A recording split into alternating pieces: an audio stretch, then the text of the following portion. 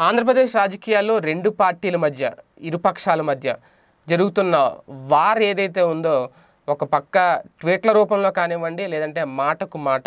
అయితే మాటకు మాట బయట పెద్దగా ఏం జరగట్లేదు కానీ ట్వీట్ల రూపంతో తగులుతున్న షాకులు మాత్రం టీడీపీ అధినేత అలాగే నారా లోకేష్ చంద్రబాబు నారా లోకేష్ తండ్రి కొడుకులు ఇద్దరి మీద గట్టి ఎఫెక్ట్ పడుతుంది అయితే ప్రధానంగా విజయసాయిరెడ్డి గారు చేస్తున్న ట్వీట్లు ఏవైతే ఉన్నాయో వాళ్ళకి గొక్క తిప్పుకోలేని సమాధానం చెప్తున్నారు విజయసాయిరెడ్డి అనేది అయితే హండ్రెడ్ పర్సెంట్ కరెక్ట్. ఏ ఒక్కదాన్ని ఏదో ఒక ట్వీట్ పెట్టేశాము మమ్మల్ని ఎవరు విమర్శిస్తారులే అని అనుకుంటున్న టైంలో అసలు వదలట్లేదు. లెఫ్ట్ హ్యాండ్ రైట్ ఇచ్చేస్తున్నారని చెప్పాలి. ఇదే ఇదే టైంలో తండ్రి కొడుకులు ఇద్దరిని ఏక్ పారేశారు విజయసాయిరెడ్డి ఒక్క రెండు మూడు వరుసగా వరుస ట్వీట్లతో అనమాట ఏక్ పారేశారు.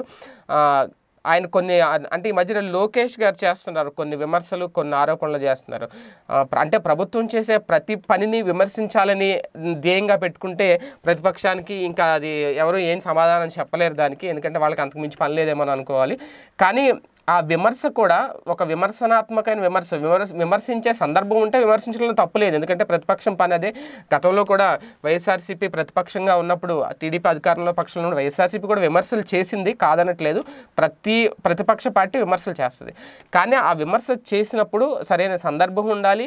ఆ విమర్శ నిజంగా వాళ్ళు అవతల అధికారంలో ఉన్న పార్టీ ఆ విమర్శ చేసే సందర్భం తీసుకొచ్చుంటే అలా చేస్తే తప్పులేదు కానీ విమర్శ చేసి దొరికిపోతున్నాం అన్నట్టుగా ఉంది టీడీపీ పరిస్థితి. గ్రామ వాలంటీర్ల విషయంలో నారా లోకేష్ చేశారు కొన్ని విమర్శలు చేశారు. వెంటనే దానికి కౌంటర్ ఇచ్చేశారు విజయసాయిరెడ్డి.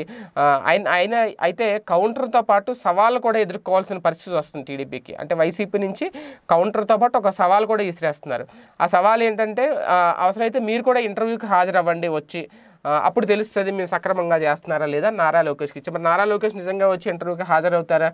గ్రామ వాలంటీర్లు ఇంటర్వ్యూలకు హాజరు కాగలరా? అంటే అక్కడ దానికి సమాధానం చెప్పలేని పరిస్థితి. అది కప్పుపుచ్చుకోవడానికి వేరే మాటలు మాట్లాడాలి. అలాగే బడ్జెట్ గురించి కొన్ని వ్యాఖ్యలు చేశారు. వాళ్ళు సింపుల్గా బడ్జెట్ గురించి బడ్జెట్ అంటే ప్రతి ప- అధికార పార్టీ అధికార పక్షం ప్రవేశపెట్టిన బడ్జెట్ను వ్యతిరేకించడం ప్రతిపక్షానికి సరామామూలి. అయితే వీళ్ళు దొరికిపోయే విమర్శలు చేస్తున్నారు. ఇప్పుడు ఐదు వందల కోట్ల బడ్జెట్ మీద విమర్శ చేసినప్పుడు సింపుల్గా అన్నారు అమరావతి శంకుస్థాపనకే మూడు వందల కోట్లు మింగేశారు మీరు మీకు ఐదు వందల కోట్లు అనేది చాలా చిన్న విషయమే అన్నారు. అంటే అల్- అట్లాంటి సింపుల్గా ప్రజల్లోకి వెళ్ళిపోతాయి. ఒక విమర్శ చేసినప్పుడు అధికార పార్టీకి తిరిగి ప్రతి విమర్శ చేసే ఛాన్స్ ఇవ్వలేని పక్షంలో విమర్శ చేయాలి. లేదు మన అవతల వాళ్ళకి దొరికేస్తున్నాం మన జుట్టు కావాలని అవతల వ్యక్తి చేతిలో పెడుతున్నాం అంటే అది ప్రజలకు ఇంకా చులకనైపోయే పరిస్థితి కనిపిస్తుంది. ట్వీట్లు ఒక ఎత్తు అయితే ఎందుకంటే ఒక స్థాయికి మాత్రమే ట్వీట్లు పరిమితం అవుతాయి. ఎడ్యుకేటెడ్ పీపుల్ కానివ్వండి ఒక స్థాయి పీపుల్ స్మార్ట్ ఫోన్లు ట్విట్టర్ అకౌంట్లు ఉన్నవాళ్ళు ఈ కొంతమందికే ఉంటారు. అది ఆ స్థాయికే ట్వీట్లు పరిమితం అవుతాయి. అయితే ఈ ట్వీట్లని వార్త రూపంలో ఎప్పుడైతే ప్రజలకు మీడియా చేరుస్తుందో అప్పుడు మొత్తం కింది స్థాయి వరకు గ్రామ స్థాయి వరకు ఇలా మాట్లాడారా ఇలా విమర్శించారు ఇలా అన్నారని మెయిన్ కంటెంట్ అయితే వెళ్ళిపోతుంది.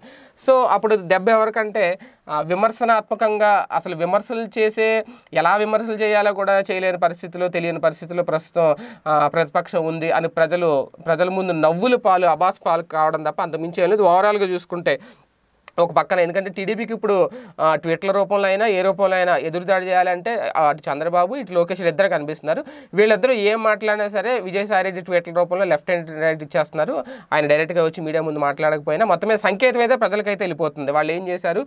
ఆ, విజయసాయిరెడ్డి ఏం విమర్శించారు అనేది. మరి ఈ విమర్శలు ఇలాగే కంటిన్యూ అయితే టీడీపీకి పెద్ద దెబ్బ ఎదుర్కోవాల్సి వస్తుంది. ఆ విమర్శలు ఏమైనా మార్పు వస్తుందో? ఒక నిర్మాణాత్మక పాత్ర పోషించడంలో ప్రతిపక్షం ఉంది అని నిరూపించుకోవాలంటే ఇటువంటి వాటిని కట్టిపెట్టి ఒక సబ్జెక్ట్తో కూడుకున్న వ్యాఖ్యలు ఒక వివరణాత్మకమైన ప్రజలకి అధికార పక్షం చేసే తప్పులను ఎత్తి చూపడంలో ఒక వివరణ ఇచ్చే సబ్జెక్ట్ తమ దగ్గర ఉంటే మాట్లాడడం బెటర్ లేదంటే కామ్గా ఉంటే అంతకు మించిన మంచి పని ఇంకోటి ఏముండదు మరి చూద్దాం ఏం జరుగుతుంది. ఇలాగే కంటిన్యూ అవుతుందా?